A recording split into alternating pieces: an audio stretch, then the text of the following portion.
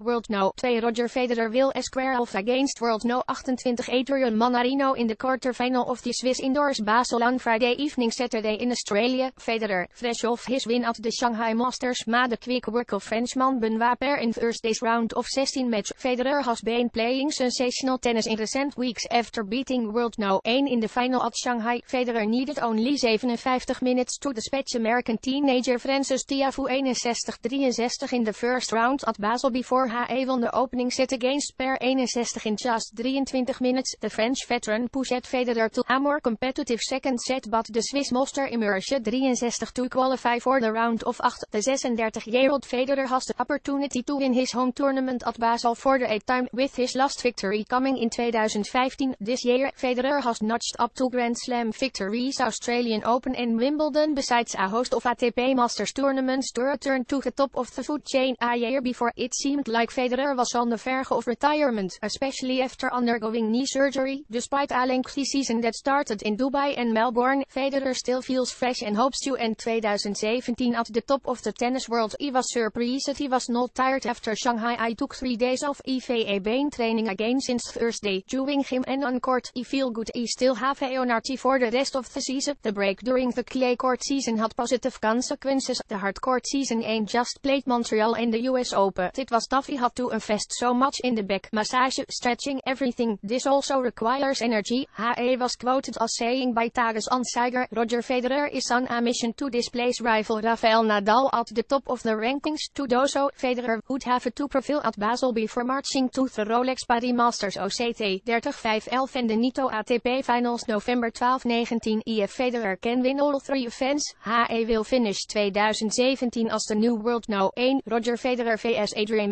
Manarino livestreaming, Basel ATP livestreaming, Basel Indoors livestreaming en tennis livestreaming info follows Basel ATP livestream Roger Federer vs Adrian Manarino round of 8 start time, local time, Friday Aston TV ESPN 2 Australia, Tennis Channel USA livestream Tennis TV Global, watches Australia, watch ESPN USA.